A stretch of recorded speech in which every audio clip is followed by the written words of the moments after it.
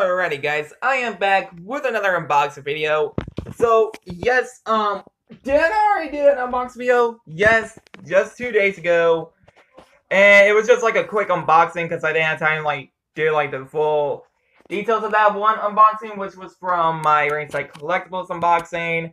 Because like every year during November, like when it's like cold during like the daytime, I like in the morning time, it gets like bizarre freezing because um you know like it's get cold like every year for November and Christmas Day, but on that so yes, so we're doing another unboxing from Amazon. So anyway, guys, uh, let's go ahead and get it out of the packaging.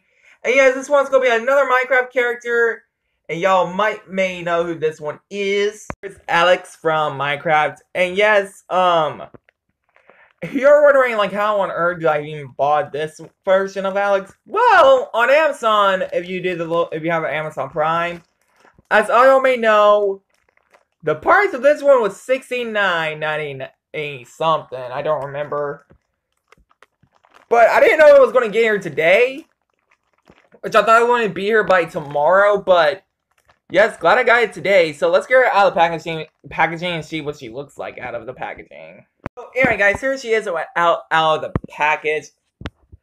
It's so yeah, um, it's 12 inch, and um, yes, she does come with a little bit of accessory that I took off of her hand, and yeah, she has a little bit of trouble standing because of uh, the mailman always put these type of uh plushies in a mailbox, not in front of my door. Don't know why, but yes, um, here's her pickaxe it literally looks like Steve's, but um, but it goes on the other hand, not this hand, because uh, her hand does have the little Velcro thing on this one. Because this part right here, or you have a Steve puts like this.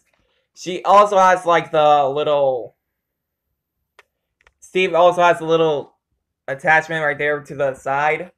So anyway, let's go ahead and look at the front, shall we? This is her face. So yeah, everybody's acting like that. She's a dude or transgender, but she's not.